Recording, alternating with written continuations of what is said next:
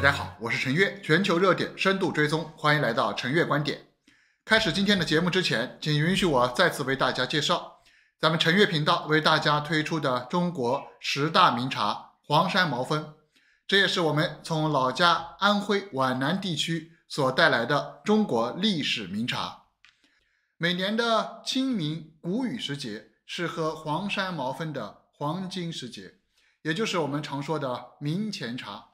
黄山毛峰是生长在高山的嫩芽，平均海拔八百米，年平均气温二十度，年降雨量两千毫升，年日照时间呢这个大于两千小时。这样的环境气候条件形成了黄山毛峰的独特高品质好口感，无论是自己品茶还是馈赠亲朋好友，都是上佳的选择。感兴趣的朋友呢，可以添加我们这个节目下方的说明栏里面的微信，那么和陈悦频道的同事交流购买事宜。也感谢好朋友们一直以来的大力支持，我们全力以赴，再接再厉，为大家奉献优质的节目。美国围堵中国的科技发展，这也不是什么这个新闻了。那么，从奥巴马政府时期的重返亚太政策。到特朗普时期的歇斯底里，从贸易、科技到地缘政治，那么全方位的布局打压，再到现在的拜登政府软硬兼施，美国总统呢，实际上都换了好几个，那么效果究竟怎么样呢？我们从华为 CFO 孟晚舟女士被美国非法扣留在加拿大，经过漫长的法律攻防以及政治斡旋之后，终于回到了祖国大陆。而华为在美国锻炼的沉重打击之下，奋发图强，自力更生，同时摸着石头过河啊，兵来将挡，水来土掩。那么现如今呢？几年的时间很快就过去了，华为现在过得怎么样呢？那么最近我们看到孟晚舟女士归国之后，首次亮相华为财报的发布会，那么一系列的重磅数据的发布，也让我们有机会。全方位正面观察华为当前的处境。总体来说，华为的营收一如预期的下滑，同时华为的净利润是提高了很多。那么这里面当然也有华为资产重组的原因。而孟晚舟女士在发布会上重申了华为以业务销售为研发基线，并加大对科技研发的投入。那么这一点，华为是始终如一。简单总结就是。华为业务被打击依旧，华为人打破封锁斗志依旧，华为乃至中国科技产业被美国的这个啊科技封锁，那么要打破这种封锁的梦想依旧，胸怀梦想在路途之上。华为在发布会上关于业务的分析和表达，特别也提及芯片、半导体等诸多方面的困境以及突围的计划。我想呢。孟晚舟女士归国之后的首次亮相，以及华为一众高管为大家所带来的这场华为财报的发布会，成为我们观察华为乃至于中国科技产业一次难得的机会。我们今天就来聚焦本次发布会，为大家做啊全方位的解读和分析。我们先来看看孟晚舟女士她亮相的角度，来看看呢这场华为财报发布会在重获自由返回中国半年啊六个月之后呢，那么。华为首席财务官孟晚舟在华为年报的发布会上就高调的亮相，宣布了华为公司去年取得百分之七十六的净利润的增长，并强调华为应对外部不确定性的能力正在提升。华为在发布会上呢，那么特别谈及了受到美国芯片断供的影响。那这个事情呢，我想在过去这几年当中，朋友们呢也都非常关心，也不断提到所谓的。这个啊没有芯片了，那缺少芯片啊卡脖子啊等等呢，所以呢导致华为的终端业务受到很大影响。那么华为它的消费业务就是消费者业务啊，包括一些智能穿戴啊、终端啊，特别是手机，那它整体的销售啊规模、销售业绩呢确实呈现出显著的下滑。那么由此呢也导致华为整体的收入呢，那么同比下降了百分之二十八点六。那么整个的销售情况是六千三百六十八亿元人民币。那么这是华为销售收入多年来的第一次下滑啊。那么根据统计来看呢，应该是十九年的时间，华为的销售收入首次下滑，下滑幅度呢也是比较大，百分之二十八点六的这个幅度。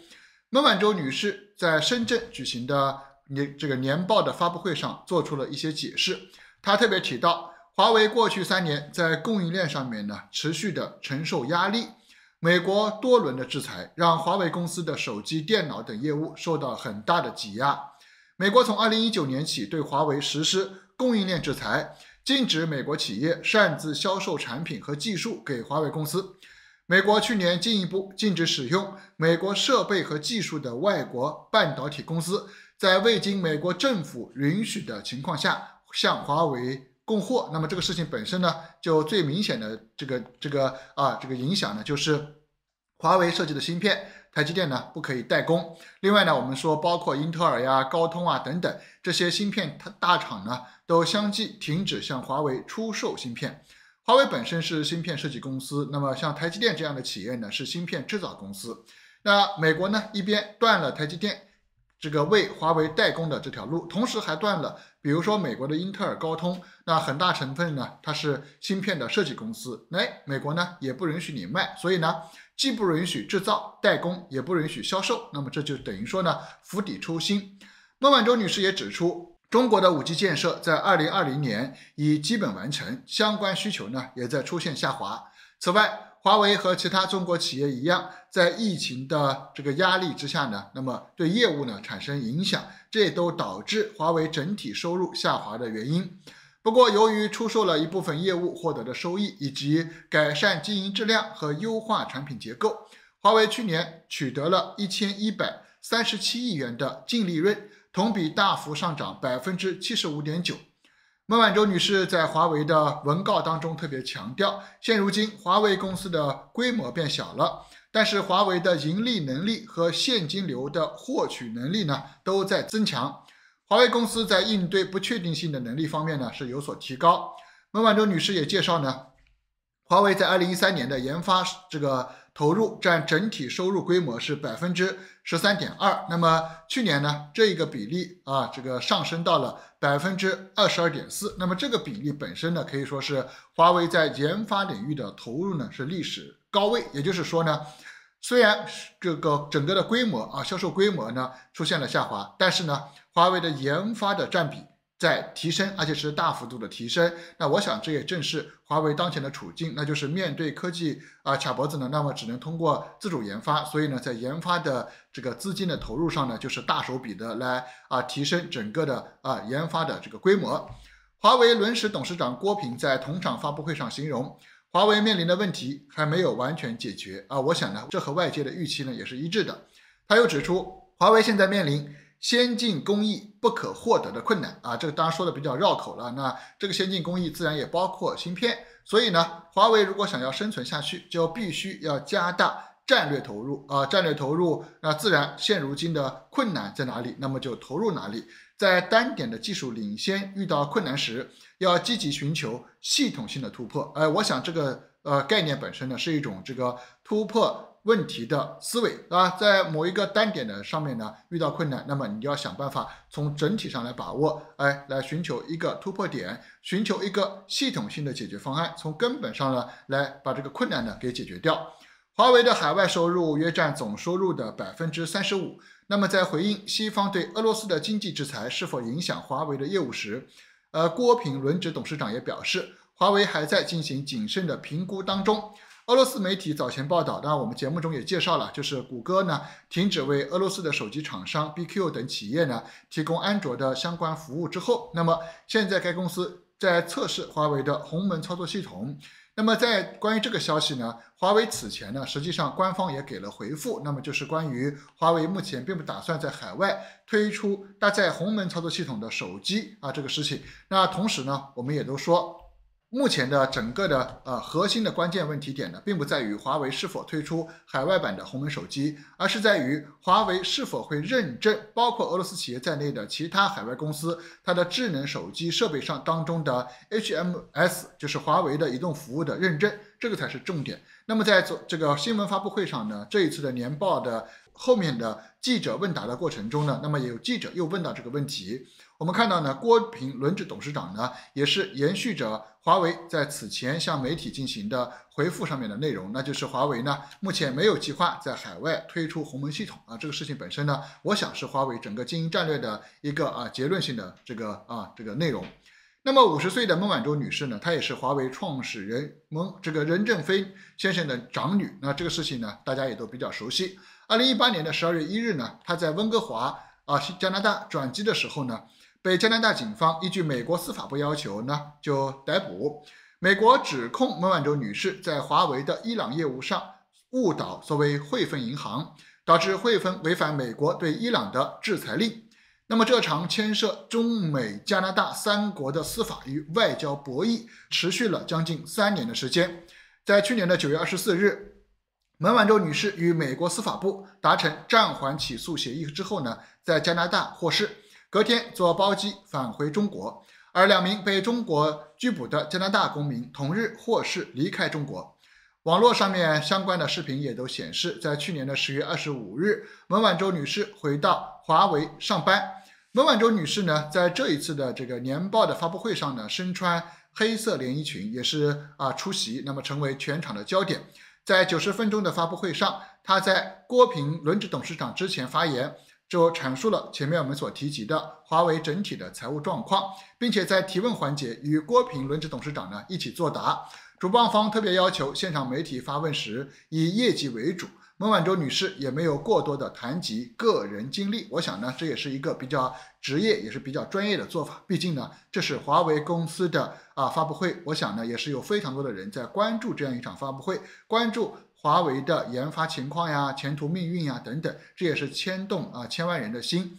那么，当被问到回国六个月之后的感想时呢，孟晚舟女士用中国的古话叫做“洞中方一日，世上已千年”来作为回应。孟晚舟女士简短的回答说：“回家六个月。”她这个啊，唯有不断的学习，那努力才能够赶上祖国的变化。我想呢，这也是孟晚舟女士向外界的一些啊关心他目前情况的人的一个啊正式的回应，那就是不断通过学习。那么国家呢发展变化速度也很快，现如今面对一个新的情况呢，只有通过学习努力才能够有所突破。对于华为当前的现金流情况。CFO 孟晚舟女士表示，华为资本架构稳健啊，资金充足，支撑公司持续为客户服务与创造价值。公司净现金为两千四百一十二亿元人民币，同比增长百分之十一点九。那么这个问题其实非常关键啊！我们说啊，打铁方需自身硬，对吧？那做任何事情，虽然壮志凌云啊，胸怀天下，对吧？虽然呢一直这个保持研发创新的投入啊，为这个啊国家也罢，为华为公司也罢啊，解决呢。科技上面啊，一些被美国给卡脖子的地方的问题等等，那这都需要钱呀，讲白了，对吧？那需要呃人才呀，那么需要好的设备啊、实验室啊等等，那就需要资金。那需要资金，那你就得啊这个啊要有现金流，有现金流，公司才能够长期的投入研发，才能够不断的呢去创新，产生价值，未来呢才有机会突破。所以这个是啊蛮根本性的问题。因此呢。呃，现在呢，我们看到这个孟晚舟女士呢，就回应了外界的这样一个关心。外界其实很多老百姓就很担心，哎呀，华为是不是没钱了呀？这个账户上不知道能撑多久。毕竟华为里面很多都是高科技人才，对吧？也有很多科学家，我相信他们的收入呢，哎，也是比较高。那么每年呢要花很多钱呀。那你现在华为的在它的整个。啊，产品销售啊，特别是终端消费方面呢，受到影响的话，那就日子能不能过下去，对吧？能不能持续的投入，确实有很多人非常关心。特别像之前就有很多人猜测说，哎，华为的芯片设计部门是不是要关门了，或者把它给卖掉了啊？等等，哎，结果我们我们发现呢，不仅没有关门，没有卖卖掉，甚至没有裁员，而且呢还在加大招聘人才的力度。我想这就是一个通过实际行动对外界的一种展示，也是一个态度的体现。对于华为的整体收入规模的下降呢，那这个事情本身呢，我们前面也谈到了，孟晚舟女士呢就给出的三个原因呢，我觉得这个也是有说服力的，对吧？美国的多轮制裁确实对华为产生了影响，那么这一点呢也不用去这个啊掩饰啊，那现现实就是如此，特别是它的手机业务。那包括呢，像华为最擅长的通信设备，那它本来就是有周期的啊。那么就是一个啊一个，比如说中国，那么它五 G 建设方面，它可能哎这一批发一个包，呃，可能很多钱，那么就要进行部署。那那么下一批的订单什么时候啊？这个本身呢，它就有周期性的。另外呢，就是关于现如今呢，整个全球的啊经济情况面临着很大的动荡，包括疫情啊，现在还有战争啊，各方面的冲击。那么孟晚舟女士呢，在发布会上还表示，二零二一年华为的运营的营业收入呢是最高，全年收入是这个啊两千八百一十五亿元人民币啊，这是关于运营商业务的。另外呢，就是我们细分的看的话，就是它的消费者业务收入呢是两千四百三十四亿元，那么企业收入呢是一千零二十四亿元。那么其中呢，我们前面提及的这个影响最大的啊，受到制裁，那么产生冲击最大的，其实就是消费者业务。不过在手机销售业务出现下滑的同时呢，华为消费者业务呢也有一些好消息，就是关于它的啊智能穿戴啊，这个包括像智能手表，对吧？昨天我给大家展示了啊我的这个鸿蒙的这个华为的手表啊等等吧。另外呢，就是智慧屏。其他一些这个终端的消费产品，那么这一部分呢，华为的收入呢是增长了百分之三十，所以这个呢，从消费电子角度来说的话，也是它有一个啊这个好消息的方面。那么另外呢，二零二一年呢，华为的经营现金流呢，我们说达到了五百九十七亿元人民币，那么资产的负债率呢下降到了百分之五十七点八，那这个财务的健康情况呢持续好转。那么整个研发投入，前面我们提到一千四百。啊，二十七亿元人民币，那么占全年收入的百分之二十二点四，这个事情本身呢是非常重要，而且这个研发的投入超过了华为全年的净利润啊，所有赚的钱都投进去了，继续研发。当然呢，我们也必须看到，华为在二零二一年的净利润之所以出现大幅的啊增长呢，主要原因其实就是呃这个出售荣耀等子公司所得啊，其实就是一个资产的重新的组合。那么根据年报上面的内容呢，华为二零二一年的净利润是一千一百三十七点一八亿元，但是呢，我们也看到它的有一项呢是这个处置子公司及业务净收益，那么这一个栏呢，它一共是五百七十四点三一亿元。那么除了这一次性的收入之外呢，实际经营利润呢大概是五百六十三亿元啊。那么这一点呢，必须要有个说明。对比二零二零年，它的这个净利润呢，六百四十六亿元呢，实际上是有所降低的。因此呢，我们也必须要去明白，整个的制裁对于华为的围堵所带来的影响呢是非常大的，千万呢是这个不容小觑了。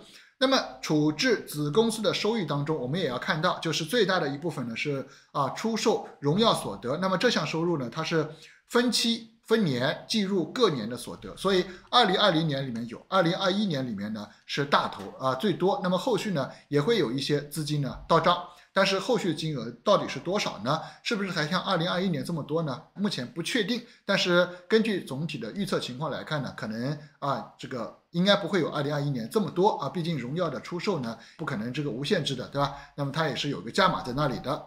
那么与此同时呢？我们看到了孟晚舟在回答有关提问时指出呢，过去这段时间呢是华为比较艰难的时刻啊，这当然也是她的一个喊话了。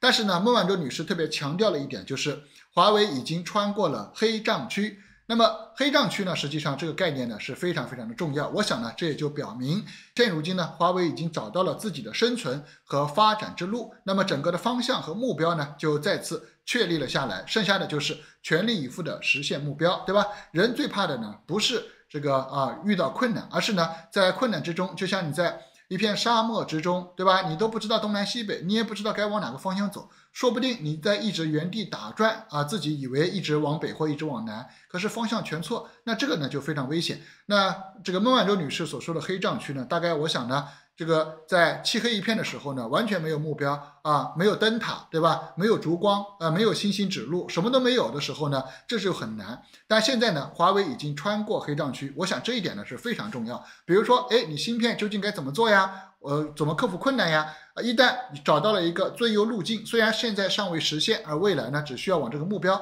去奋斗就行了。那考验的是执行力，我想这一点呢，却是华为的一个优点啊，执行力非常强。所以呢，我们就谈到。这个备受关注的华为芯片困境的问题，华为的轮值董事长郭平就特别指出，解决芯片问题是一个复杂的漫长过程，需要有耐心。那么未来呢，华为的芯片方案它可能会采用。多核结构，以提升芯片性能。那么这一点，它的这个啊谈到的这一点呢，实际上就是我们所说的目标确定，对吧？那多核芯片、多核结构、堆叠的设计模式等等，那么面积增大，这就是为什么很多朋友说手机里面啊，为什么这个用台积电的制程工艺啊，什么两纳米啊、三纳米，不断的越来越小，是因为它要在尽量小的结构里面让它速度最快，所以要塞进去。越来越多的这个啊二极管呀，或者是它的这个越来越多的这个元里面的啊计算单元，但是呢，如果是哎你你比如说发射火箭呀，或者是大型的设备，比如说汽车，为什么不需要这样呢？汽车足够大，对不对？你芯片你稍微呃大一点、小一点，其实都可以啊，只要能满足汽车的计算要求就行了。所以它跟手机呢是很不一样的。那么未来呢，华为会采用一些啊这样的方案啊来实现提升芯片性能的目标。那么郭平董事长就指出，连续遭到美国的制裁，需求上对于芯片的这个低功耗、高算力，实际上呢是有要求的。所谓的需求上，指的是终端产品，对吧？不管是华为的手表也罢，它的智慧屏或者说它的呃手机，当然对算力有要求。你如果太卡，肯定不行。那么这部分就是一个限制，包括它的呃电池耗电情况，就所谓的低功耗等等。那么在解决方案之上呢？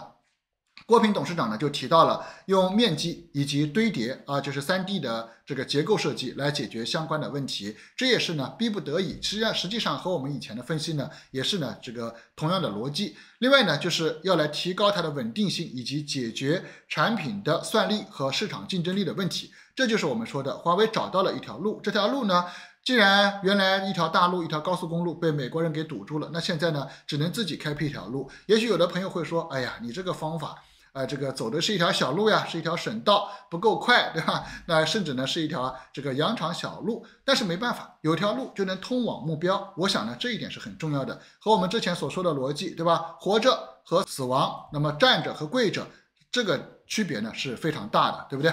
那么未来呢？就在市场上，关于华为的相关的可穿戴设备啊，智能场景之下的相关的这个产品呢，那么根据华为的这次发布会上所说呢，已经获得了相应的市场份额，而且未来呢还会继续扩大在消费电子其他产品线上面的努力。那么面对一个啊未来的发展呢，对于人才的获得以及储备等等，这些呢都是当前最为看重的。郭平轮值董事长还表示。华为现在面临的如此的这这般困难呢啊，那么依旧需要不断的进行战略投入，那么如此呢才能够让华为继续生存下去。在整个这个技术难点上面呢，就是很多的困难呢没有被解决，但是呢很多的方案呢已经被提了出来。至于外界不断的猜测说是否会自建芯片工厂来解决芯片供应的问题呢？那么郭平董事长就表示，芯片断供对于华为手机业务影响很大，但是整个的 to B 业务连续性现在有保障。那这一点呢，实际上。更多的指的是啊，关于企业型的企业业务，包比如说华为的云业务呀，或者是华为它的这个运营商业务、通信设备等等。那么相关的产品呢，由于过去多年的备胎方案的啊这个准备呢，所以这一部分呢，实际上华为呢是没有受到影响的。同时呢，我们看到。我们前面所说的就是说，关于解决华为的技术难点问题呢，他提出了三点。第一个呢是重构，第二呢是堆叠啊，第三呢是面积啊。那这部分呢，关于芯片的设计，解决先进工艺的问题呢，提升华为产品的竞争力呢，前面我们已经也谈到。所以呢，我们之前看到网络上有传言说啊，全新的麒麟芯片的设计会采用三 D 堆叠和双芯。叠加的说法呢，现在看起来呢，也不是空穴来风，那极有可能就是真的。如果这样的话呢，那么华为的自身所设计的芯片，在自己的产品线上用中国自己的芯片代工厂制造出来的芯片，很快可能就会推向市场和大家见面。这一点呢，我个人呢还是非常期待的。华为轮值董事长郭平还表示，那么华为当前呢正在推动。基础理论、架构设计、软件等三个领域的重构。那么这个重构本身，有的朋友可能未必会去啊明白。实际上呢，无论在科学、工程各个方面领域呢，从来没有说达到某一个目标只有一条路可以走的。实际上都有很多条路可以走。那么他所说的基础理论呢，实际上是，比如说华为的五 G 为什么是全球最领先呢？因为它采用了一个数学家的一个呃，我印象中应该是土耳其的还是哪个国家的数学家，那么所算出来的一个啊一个理论，所以理论的突破呢，可以大大的提升在工程领域、在科学技术领域的实践上的一个啊突破。另外呢，就是关于整体的架构，我们前面也提到了，就是说芯片当然可以像台积电呀、像这个三星半导体等等的，那么。但最好的方案是在一个啊一个芯片上面，那么。尽量堆比较多的计算单元，可是如果你的代工能力做不到，那怎么办？那你只能对吧？我们说的前面说的堆叠啊啊，三 D 的设计啊等等，用这样的方式，另外一种架构呢，来能够解决算力的问题。当然，另外呢就是软件了，软件也很重要。在硬件算力有限的情况下呢，如果软件结构、软件架构做得好的话，实际上也能起到一个非常非常好的用户体验的这个效果。那么我们说探索呢，整个计算与通讯的理论本质，这是华为在做的事情。当然，我们也知道，任何理论本质的突破呢，都是非常非常非常困难的啊。我们也必须呢，要给予这个事情本身呢，有个客观的认知。当然，华为敢去挑战自我，敢去挑战通信领域和计算领域的本质，那么这个呢，实际上是要非常强的魄力的啊。那什么叫本质呢？简单例子就是。量子计算如果出来呢，会把传统计算呢，就是啊，整在算力层面呢，它根本就不是一个量级的，这就是一个本质性的颠覆性的一个突破。那么郭平董事长还指出，要推动整体的这个竞争力的构建，那么扎根软件的基础能力，重构核心的这个基础的软件站啊，那这个事情本身呢，有些朋友可能又未必了解。基础软件站本身和我们所说的 A P P 啊，开发一个什么小程序啊等等呢，这是两件事情，都可以说它是在做软件。但是这么说吧，哎，我可以用一个工具呢，做一条路，哎，做一个修一个水坝啊，修盖一个房子。那么这个房子、水坝、路，你可以理解为各种不同功能的 A P P，呃，这个应用程序。但是呢。所有修水坝、盖桥或者盖房子所需要的什么呀？钢筋、水泥，其他的一些啊，包括一些车辆啊、特种的设备。工具等等这些东西呢，很多也是软件。那么这些基础型的软件，很多都是在美国，在西方国家，那么过去这么多年所积累下来的，我们可以把它叫做软件库也罢，或者说呢，很多很多已经分装好的类也罢。那可是现如今呢，诶，中国要从头搞起来自己的这些事情，包括华为为什么一定要做鸿蒙操作系统呢？有些朋友可能会说，哎呀，鸿蒙操作系统用起来呢，体验是有它的优点了，但是你说重新再搞一套。不如在安卓上面改吧改吧，但问题就在于，人家不给你用，你就没有，这就是一个最大的问题，对吧？所以呢，还是那句话，有比没有重要，对吧？吃饱比吃好重要，在现阶段啊，那么未来当然目标还是要吃好，对不对？还是要追求最优。那现如今呢，基础的软件站这个是非常非常重要。很多朋友可能会就是说你接触不到，因为在手机里在里面也罢，在电脑里面也罢，它的基础软件站是非常底层的，呃，中间件呀，或者是非常底层的很多东西啊。那么比如说和硬件打交道的，过去我们都比较了解的叫驱动，对不对？那驱动本身呢，实际上就是一个可以认为是一个非常底层的软件站。当然了，华为呢为自己的未来，甚至为中国的啊科技的未来的发展呢，在不断寻求啊突破美国的关键。供应链的封锁本身呢，它就是在探寻一条独立的道路。那么我们说呢，过去的整个的发展呢，整个的情况呢，啊，关于中国被啊卡脖子啊等等，很多朋友一提到这一点呢，就会想到华为。我们关注的也比较多，谈论华为。但问题是呢，其实华为也不是万能的，这一点我们一定要非常清楚。我们通过财报当中，虽然看到它的净利润提升，前面我们也说了，对吧？你就被逼无奈嘛，你荣耀得卖了，卖了这一笔钱啊，冲到这个财报里面来。今年你的净利润当然会提升，那未来呢？你不能把手机都给卖了，对吧？把你的资产都给卖了，是不是？所以说，我们也要看到，那么华为这两年的业务呢，它的净利润如果抛除掉卖荣耀的这一部分呢，实际上它是下滑的啊，下滑的，包括它的营业收入也是下滑的。那么这就是所带来的实实在在的冲击。那因此呢，在这里呢，也必须去呼吁，呼吁什么呢？就是说，我们很多朋友说啊，华为加大投入了，你看它一年花了一千多亿元人民币，这个研发规模在世界上都是响当当的，花的钱是很多的。但是我们也必须看到，如果我们把啊芯片的上下游，对吧？芯片的设计、芯片的软件、芯片的这个生产、芯片的分测、芯片的这个啊其他的方方面面的这个分装，全部都堆到华为身上来，这是华为不可能完成的任务。根本就做不到啊！这一点呢是非常现实的。那，因此怎么样呢？它是一个系统性工程，需要中国整体性的科技进步。比如说中芯国际，那么中芯国际上面呢，它做芯片装备的，还有上海微电子，还有一系列的啊做芯片设计的公司在中国。还有什么呀？中国做光刻机的呀，做这个其他的这个光刻胶的呀，其他做这个我们说啊一些光光源的呀，一些镜头的呀，这都很重要。光刻机本身它也是需要非常多的零件来组成的，还有做一些化学气体的呀，在腐蚀的过程中也是需要用到的呀，这些都是很多很多啊，非常多的这个公司，那么在经营这个事情，有些中国已经做的不错，有些呢还是比较落后，所以需要怎么样呀？劲往一起使，一起来努力，才能够有机会实现这个突破。否则的话，哎，有什么事情就我们我们眼盯着华为来说呢，那么好像。没有取得突破，然后呢，就是华为的研发啊不给力了，怎么怎么样了？那这个呢就是喷子了啊啊不负责任了。华为一家公司能力是有限的，这一点呢，我们从科学的角度来看待呢，实际上是非常清楚的。那么上述种种呢，我们说孟晚舟女士呢，她在整个啊发布的财报也罢，或者说呢郭平轮值董事长所发布的前面说了啊技术发展的路线也罢，对吧？呃，什么三 D 的这个芯片设计啊、堆叠呀、多核呀，实际上都是在。找路、探路、寻路的一个过程，那么它整个的大背景、大环境依旧是离不开中美之间的竞争格局。那么，如果我们往更大一点说呢，就是在过去的全球化的时代呢，可以说是货物畅通，对吧？我们讲喊全球化、喊和平与发展，这是这个时代的主题，喊了多少年了，是不是？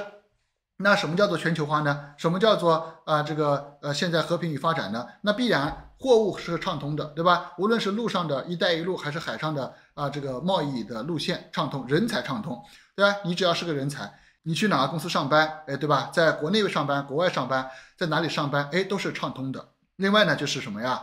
这个人才的畅通带来的是什么？经验、知识，对吧？技术的传递，还有呢，供应链的畅通。供应链的畅通是。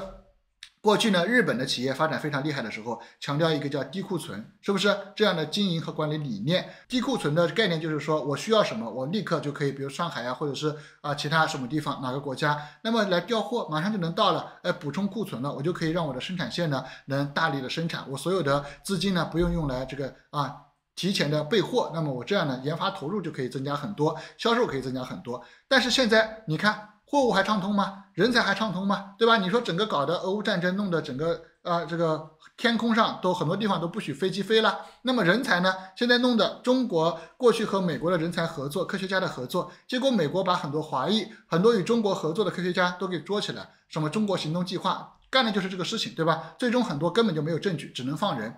供应链畅通吗？这就不用提了，像个笑话一样，是不是？你说现如今这个中国的企业受到了多少的打击啊？华为如果供应链畅通的话，那手机就是世界第一了。我说的是销量方面，因为曾经有一段时间它确实已经是世界第一了，但是后来被打击了，那就没有办法了，是不是？